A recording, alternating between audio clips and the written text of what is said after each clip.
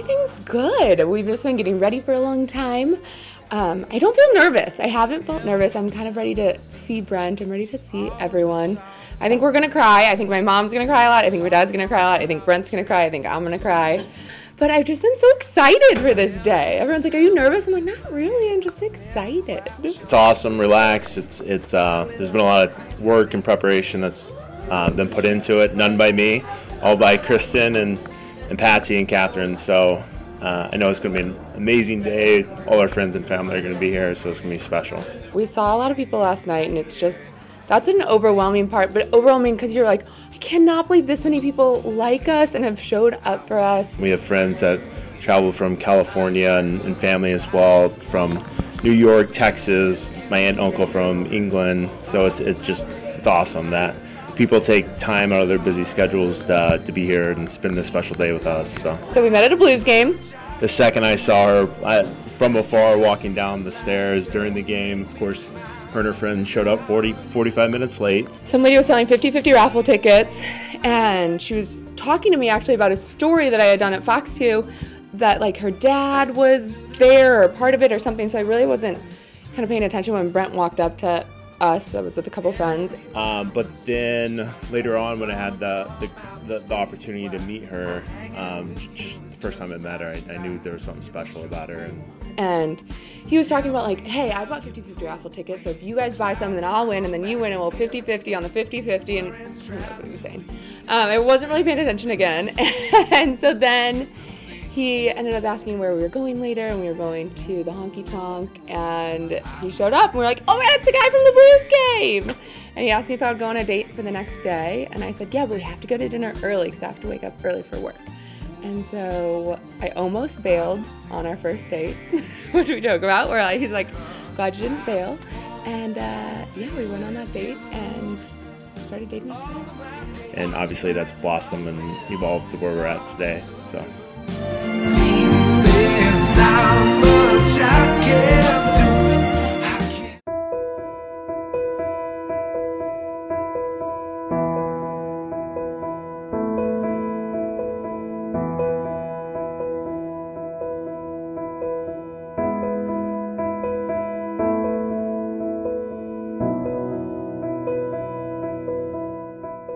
You're an amazing father. I also can't wait to go on adventures and grow old together.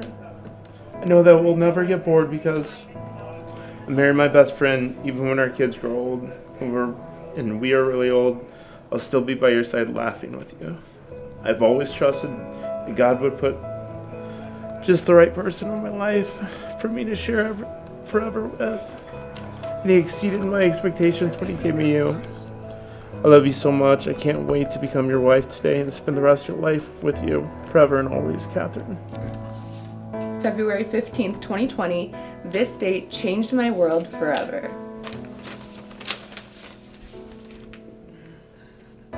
I didn't win the 50 50 ticket that day, but I did end up with the winning numbers by the end of the night. You make me want to be the best version of myself for you. I can't wait to marry my best friend and my dream girl. I'm writing this note today, the day your dad and I get married, to let you know how lucky I feel that I get to be your stepmom. God truly blessed me with two amazing men, your dad and you. I remember the day I met you. You were just one and a half years old, that long blonde hair and the sweetest smile. It was so easy for me to fall in love with you. I've been loving you every day ever since. Brett looking dapper and Catherine looking gorgeous as ever. As beautiful as I could have imagined the first time I met you. But it's a great privilege to witness the love that you two have for one another. I'll throw this, this Catherine, receive this ring as a sign of my love and fidelity. as a sign of my love and fidelity. In the name of the Father, In the name of the Father, and of the Son, and the Son, and the Holy Spirit. the Holy Spirit. Amen.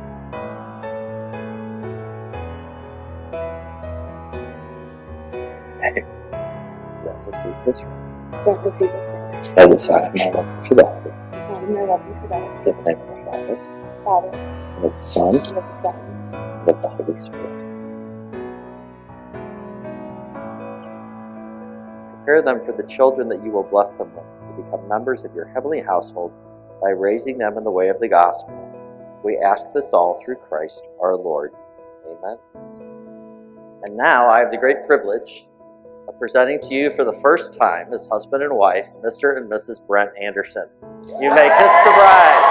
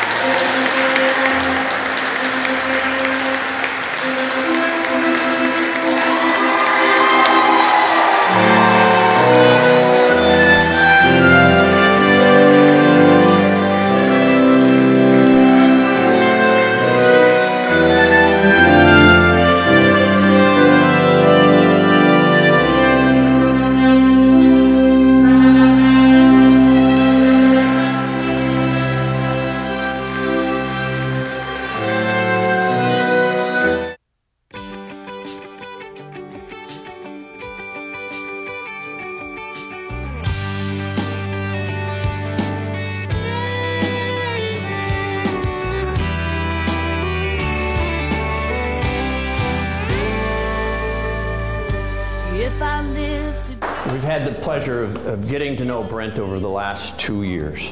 And Brent truly is one of the most kind, considerate, thoughtful people that you could ever meet. He is just a wonderful guy most of the time. There are, he has his moments, but we love him dearly. Um, Pat likes to refer to Brent as solid. He's just solid through and through. This is where it gets hard for me. So, Catherine, I've loved you from the moment you were born. And my love has grown as I've watched you grow up to today, where you are now a wife, a bride, a mother. We are so very, very proud of you, your mother and I. It, it's hard for me really to explain the pride that we have for you. Um, you have touched my heart in so many different ways that it would take me all night. And I'd be willing to do it, but you all wouldn't like it. There's always something about you, Catherine, and now you as well, Brent.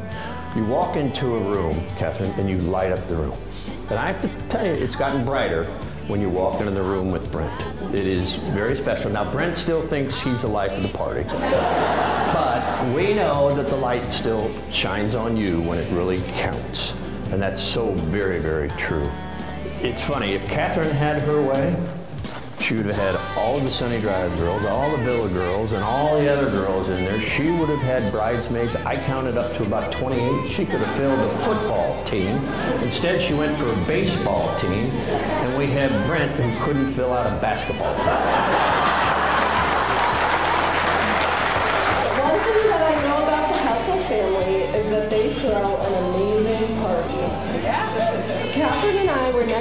Neighbors for the first six years of our life and were inseparable. Trying something new or taking on a new challenge always felt possible with Catherine by my side. Whether it was learning to ride a bike, walking through the doors of St. Clement on our first day of kindergarten, or getting our ears pierced at the players at West. Now let's raise a glass to Mr. and Mrs. Anderson. You look absolutely gorgeous tonight, Catherine. Brent, let's hope everyone's drunk when the lights come on at the end of the night. We shared a lot of laughs and memories or so over the last 10 years. Brent, you're one of the best friends God could ask for. You're always checking on everyone. You value friendship so much. I know that's one of the main things we've got in common. I love that about you, homie. Mind silencing the phone? I'm, I'm in a speech here. Thanks. So rude. Probably a work call.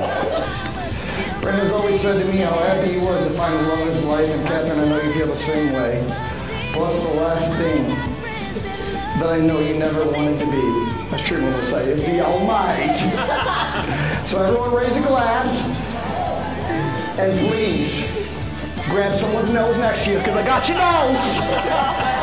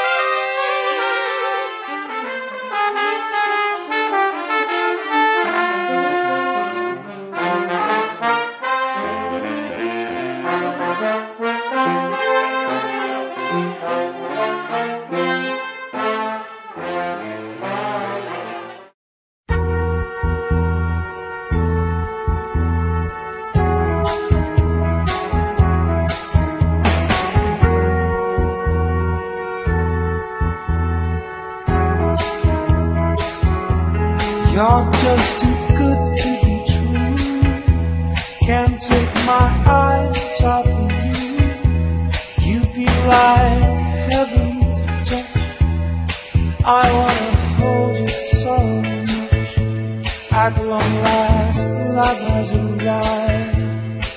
I thank